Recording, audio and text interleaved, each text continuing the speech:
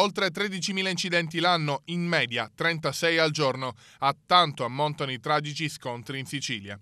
Nel 2011 gli incidenti stradali con lesioni a persone rilevati nell'isola sono stati 13.283 e hanno causato il decesso di 271 persone e il ferimento di altre 20.129.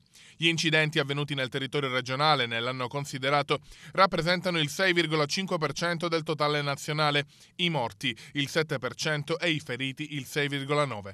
Nel solo mese di novembre la città di Palermo ha fatto registrare 12 vittime della strada, fra le quali tre giovanissime o di un'intera famiglia distrutta. Ma quello dei gravi incidenti stradali è un problema di natura mondiale che oltre alle evidenti gravi implicazioni di natura personale comporta anche grandissimi costi sociali. Gli incidenti stradali in Europa, infatti, sono responsabili di una perdita di circa il 2% del PIL e hanno un costo sociale che nel 2002 è stato quantificato in più di 34 miliardi di euro.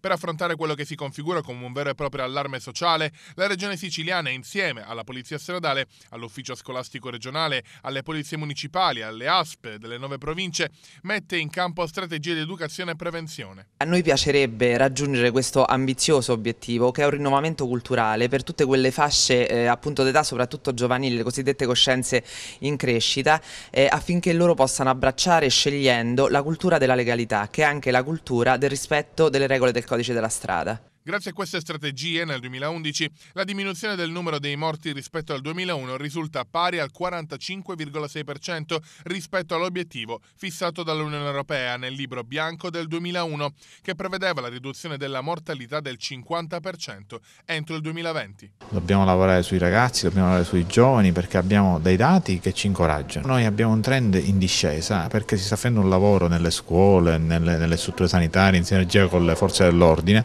che ci fa intravedere un po' di luce. Stiamo collaborando con il gruppo interregionale che lavora presso il Ministero della Salute alla definizione del nuovo piano nazionale della prevenzione. Ci sono dei fattori culturali che vanno dire, eh, modificati, fattori di rischio che si possono rimuovere e eh, ad esempio eh, quello di una corretta educazione eh, sanitaria riguarda la prevenzione dell'abuso di alcol,